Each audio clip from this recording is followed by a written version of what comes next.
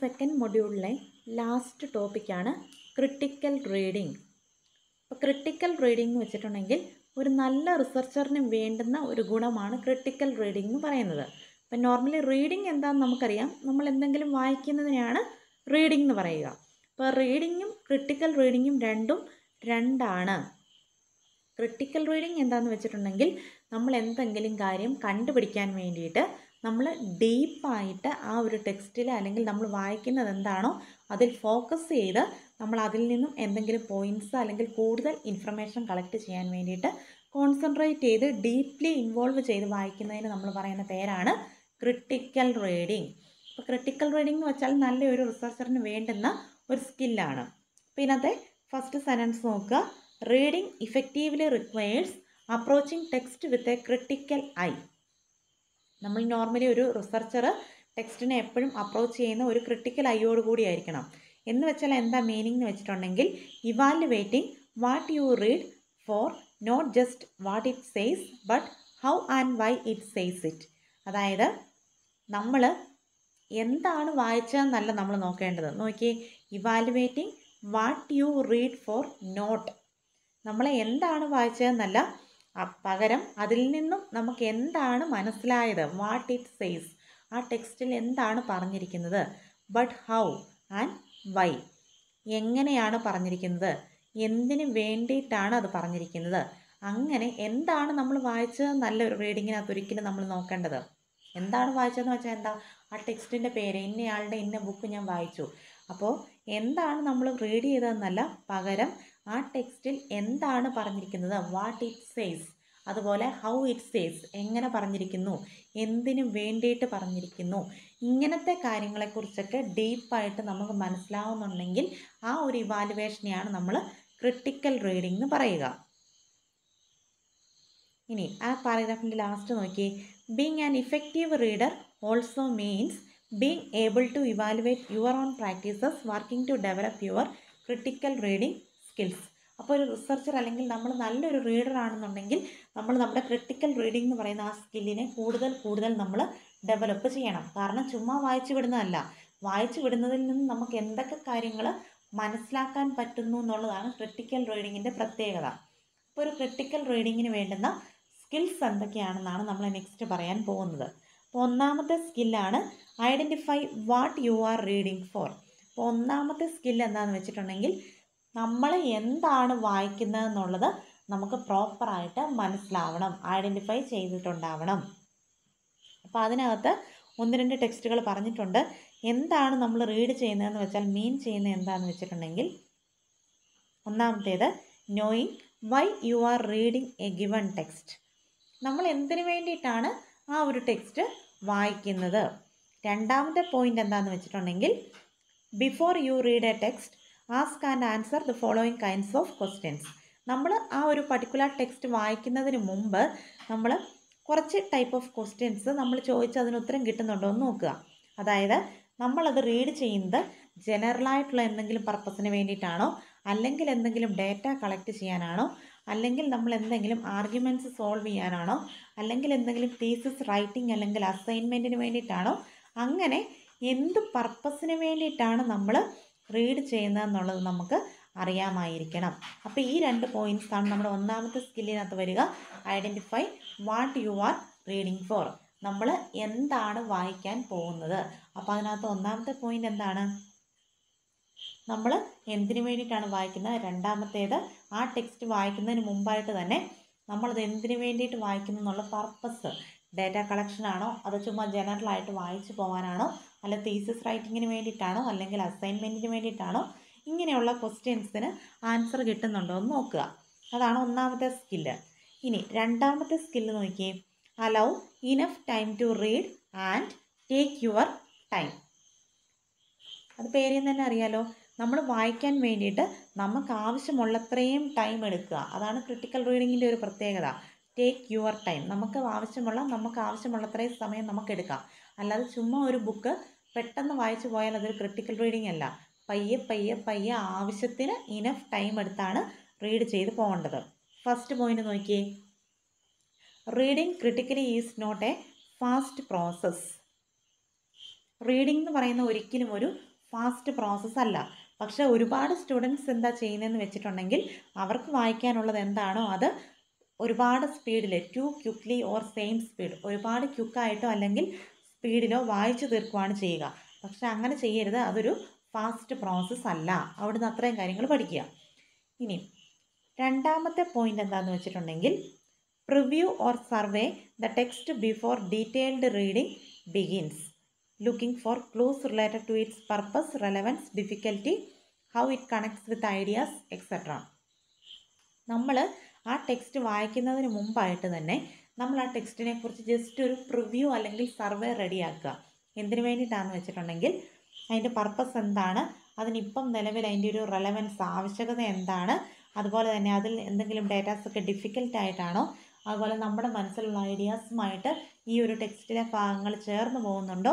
അങ്ങനെയുള്ള കാര്യങ്ങളൊക്കെ നമ്മൾ ടെക്സ്റ്റ് വായിക്കുന്നതിന് മുമ്പായിട്ട് തന്നെ ജസ്റ്റ് ഒന്ന് പ്രിവ്യൂ അല്ലെങ്കിൽ സർവേ നടത്തി വെക്കുക.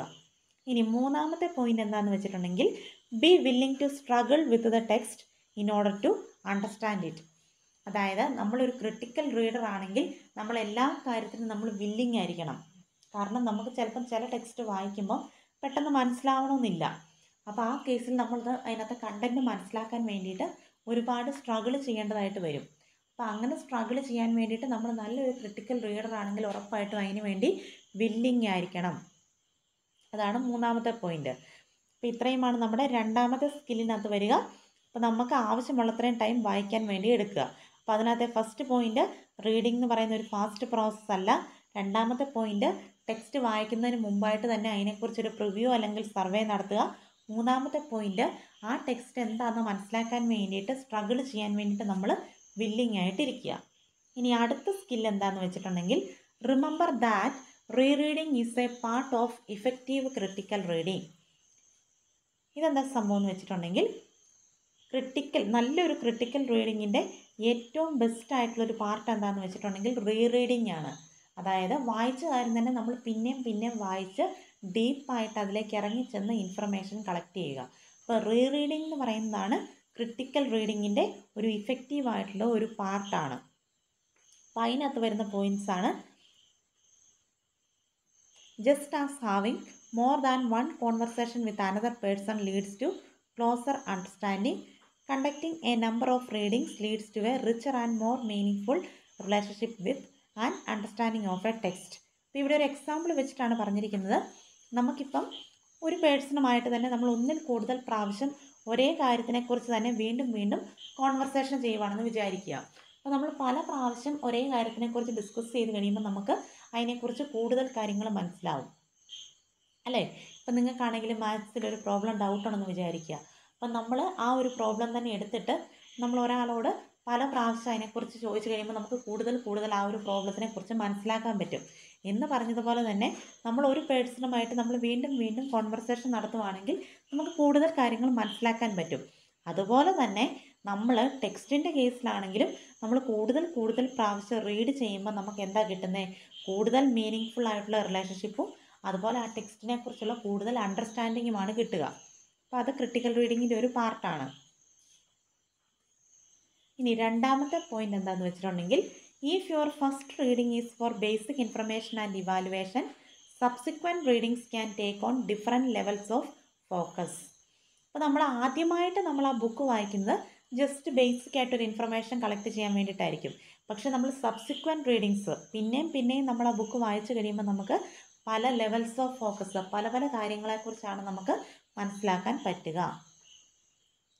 അടുത്ത പോയിന്റ് എന്താണെന്ന് വെച്ചിട്ടുണ്ടെങ്കിൽ in rereading work to separate parts of arguments അപ്പോൾ നമ്മൾ ഓരോ പ്രാവശ്യം വീണ്ടും വീണ്ടും നമ്മൾ റീഡ് ചെയ്യുമ്പം നമുക്ക് കാര്യങ്ങൾ കൂടുതൽ മനസ്സിലാക്കാൻ വേണ്ടിയിട്ട് നമുക്ക് എന്ത് ചെയ്യാൻ പറ്റും എന്ന് വെച്ചിട്ടുണ്ടെങ്കിൽ നമ്മുടെ ഇൻഫർമേഷനെ സെപ്പറേറ്റ് ആയിട്ടുള്ള പല പല പാർട്സ് ആയിട്ട് മാറ്റുക.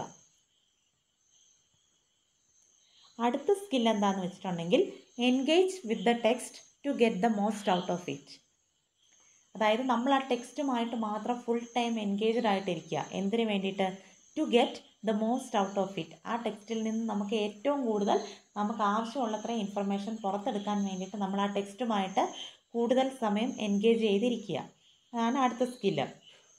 അതിനകത്ത് വരുന്ന പോയിന്റ്സാണ് read with a pen or pencil highlighting key statements or points അപ്പോൾ നമ്മൾ ആ ഒരു ടെക്സ്റ്റുമായിട്ട് എൻഗേജ് ചെയ്തിരിക്കുന്ന സമയത്ത് നമ്മൾ എന്താ ചെയ്യേണ്ടതെന്ന് വെച്ചിട്ടുണ്ടെങ്കിൽ ഒരു പേനായോ പെൻസിലോ നമ്മുടെ കയ്യിൽ കരുതുക.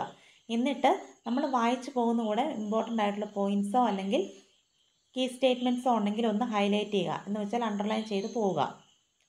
അടുത്ത point note where and how the text relates to lectures or discussions as well as general or specific questions you might wish to ask your instructor in class or office hours അതായത് നമ്മളിപ്പം വായിക്കുന്ന ടെക്സ്റ്റിൽ ഉള്ള കാര്യങ്ങൾ നമ്മൾ ചിലപ്പോൾ നമ്മുടെ ടീച്ചേഴ്സിനോടോ അല്ലെങ്കിൽ നമ്മുടെ ഇൻസ്ട്രക്ടറോടോ ചോദിക്കാൻ വെച്ചിരിക്കുന്ന കുറേ ഡൗട്ടുകളൊക്കെ ആയിരിക്കും.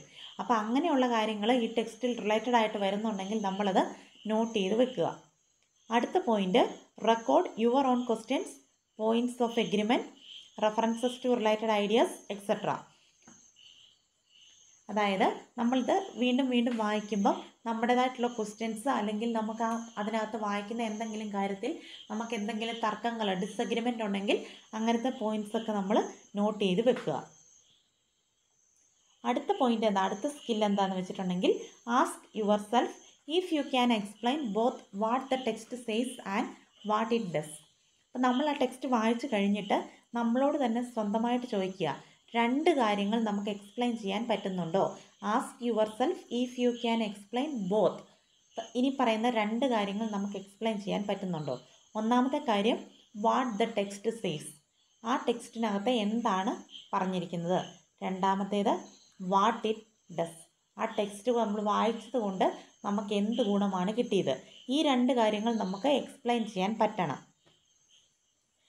അപ്പോൾ ഒന്നാമത്തേനകത്ത് ഒന്നാമത്തെ പോയിന്റ് എന്താണെന്ന് വെച്ചിട്ടുണ്ടെങ്കിൽ can you provide a summary of key claims and thesis and understand it purpose what this text seeks to do അപ്പോൾ നമ്മൾ ഈ പറഞ്ഞ രണ്ട് പോയിന്റിനെയും കണക്ട് ചെയ്തിട്ടാണ് നമ്മുടെ ഈ ഒരു ഫസ്റ്റ് പോയിന്റ് പറഞ്ഞിരിക്കുന്നത്. നമ്മൾ ആ ടെക്സ്റ്റ് വായിച്ചു കഴിഞ്ഞാൽ നമുക്ക് ആ ടെക്സ്റ്റിനെ കുറിച്ചുള്ള സമ്മറി അതിനകത്ത് പറഞ്ഞിരിക്കുന്ന മെയിൻ കീ പോയിന്റ്സ് അല്ലെങ്കിൽ അതിന്റെ തീസിസ് അതുപോലെ ആ ടെക്സ്റ്റ് എന്തിനു വേണ്ടിയിട്ടാണെന്നുള്ള പർപ്പസ് അങ്ങനത്തെ കാര്യങ്ങൾ നമുക്ക് എക്സ്പ്ലെയിൻ ചെയ്യാൻ പറ്റുന്നുണ്ടെങ്കിൽ നമ്മൾ ചെയ്തത് ഒരു ക്രിട്ടിക്കൽ റീഡിംഗ് ആണ്. ആ പോയിന്റ് അതിൽ നിന്നും പഠിക്കുക. ഇനി അടുത്ത സ്കിൽ എന്താണെന്ന് വെച്ചിട്ടുണ്ടെങ്കിൽ attempt to understand how each writer's background and purposes influence what they write അതായത് നമുക്ക് ഇപ്പം നമ്മൾ വായിക്കുന്ന ടെക്സ്റ്റിനകത്തെ ഓരോ കാര്യങ്ങളും അത് എഴുതിയ ആൾക്കാർ അവരുടെ റൈറ്റേഴ്സിന്റെ ബാക്ക്ഗ്രൗണ്ട് അവർ എപ്പം ഏത് സിറ്റുവേഷനിൽ ഇരുന്നുകൊണ്ട് എഴുതി അതുപോലെ അവരുടെ ബാക്ക്ഗ്രൗണ്ട് അവരെഴുതിയിരിക്കുന്ന ആ ടെക്സ്റ്റിനെ ഇൻഫ്ലുവൻസ് ചെയ്യുന്നുണ്ടോ എന്നുള്ളതാണ്. അപ്പം അതിനകത്ത് വരുന്ന പോയിന്റ് എന്താണെന്ന് വെച്ചിട്ടുണ്ടെങ്കിൽ വർക്ക് ടു ഡിറ്റർമൈൻ ആ സെക്കൻഡ് പോയിന്റ് പഠിച്ചാൽ മതി. Work to determine and understand an author's context purpose and intended audience അപ്പോൾ നമ്മൾ ആ എഴുതിയിരിക്കുന്ന ഓതർ അയാൾ എന്തിനെക്കുറിച്ച് അതിന്റെ കോണ്ടെക്സ്റ്റ് എന്താണ് എന്തിനെക്കുറിച്ചാണ് എഴുതിയിരിക്കുന്നത് അയാൾ ഇത് എഴുതാനുള്ള പർപ്പസ് എന്താണ് അതുപോലെ അയാൾ ഇത് ആർക്ക് വേണ്ടിയിട്ടെന്ന് വെച്ചാൽ നമ്മളൊരു ടെക്സ്റ്റ് എഴുതുമ്പം ഒരു കമ്പ്യൂട്ടർ റിലേറ്റഡ് ആയിട്ടുള്ള ഒരു ടെക്സ്റ്റ് ആണെങ്കിൽ അതിന്റെ ഓഡിയൻസ് എന്ന് പറയുന്ന ആരാണ്? ഈ കമ്പ്യൂട്ടർ ഫീൽഡിൽ വർക്ക് ചെയ്യുന്നവരാണ് അപ്പോൾ എന്ന് പറഞ്ഞതുപോലെ തന്നെ ഈ ഓതറിന്റെ ഇന്റന്റഡ് ആയിട്ടുള്ള ഓഡിയൻസ് ആരൊക്കെയാണെന്ന് വെച്ചാൽ ആ ഓതറിനുമായിട്ട് ബന്ധപ്പെട്ട ബാക്ക്ഗ്രൗണ്ട് ഡീറ്റെയിൽസ് കളക്ട് ചെയ്യുക എന്നുള്ളതേ മീൻ ചെയ്യുന്നുള്ളൂ. അടുത്തത് work to understand your own strategies and to improve them next എന്താണെന്ന് വെച്ചിട്ടുണ്ടെങ്കിൽ നമ്മളൊരു ടെക്സ്റ്റ് വായിച്ചു കഴിയുമ്പം നമുക്കതിൽ നിന്നും എന്ത് മനസ്സിലായി എന്നുള്ളത് നമ്മൾ നമ്മുടെ സ്വന്തമായിട്ടുള്ള സ്ട്രാറ്റജീസ് നമ്മുടെ ഗുണഗണങ്ങൾ നമ്മൾ തന്നെ മനസ്സിലാക്കുക അതുപോലെ നമ്മുടെ സ്വഭാവ സവിശേഷതകൾ നമ്മൾ ഇമ്പ്രൂവ് ചെയ്തെടുക്കുക. അതാണ് പറഞ്ഞിരിക്കുന്നത്. Work to understand your own strategies നമ്മുടെ സ്ട്രാറ്റജീസ് എന്തൊക്കെയാണെന്ന് മനസ്സിലാക്കി അതിനെ ഇമ്പ്രൂവ് ചെയ്യുക. ഇപ്പോൾ ഒരു ക്രിട്ടിക്കൽ റീഡർ ആണെങ്കിൽ നമ്മൾ ഒരു ടെക്സ്റ്റ് വായിച്ചു കഴിയുമ്പോൾ അതിനകത്ത് വരുന്ന ഒന്നാമത്തെ point ask yourself questions about how you read നമ്മൾ ആ പുസ്തകം എങ്ങനെ വായിച്ചു എന്നുള്ളത് നമ്മൾ തന്നെ നമ്മളോട് ക്വസ്റ്റ്യൻ ചോദിച്ച് സ്വന്തമായിട്ട് വിലയിരുത്തുക. അപ്പോൾ എന്താണെന്ന് വെച്ചിട്ടുണ്ടെങ്കിൽ do you read too quickly or slowly നമ്മൾ ഒരുപാട് സ്പീഡിലോ അല്ലെങ്കിൽ ഒരുപാട് പതുക്കിയാണോ വായിച്ചു പോയത്?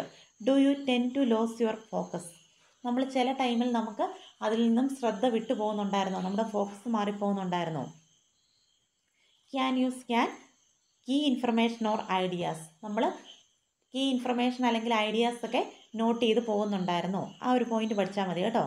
അപ്പോൾ ഇങ്ങനെ നമ്മളൊരു ടെക്സ്റ്റ് വായിച്ചു കഴിയുമ്പോൾ നമുക്ക് നമ്മളോട് തന്നെ സ്വന്തമായിട്ട് ഇങ്ങനെ കുറേ ചോദ്യങ്ങൾ ചോദിച്ച് വിലയിരുത്തി നമ്മളതിൽ നിന്നും ഇമ്പ്രൂവ് ചെയ്യുക. അപ്പോൾ ഇത്രയുമാണ് ഒരു ക്രിട്ടിക്കൽ റീഡിംഗ് അല്ലെങ്കിൽ ഒരു ക്രിട്ടിക്കൽ റീഡറിന് വേണ്ടുന്ന സ്കിൽസ് അപ്പോൾ ഇത്രയും കൊണ്ട് നമ്മുടെ സെക്കൻഡ് മൊഡ്യൂൾ കംപ്ലീറ്റ് ആയി.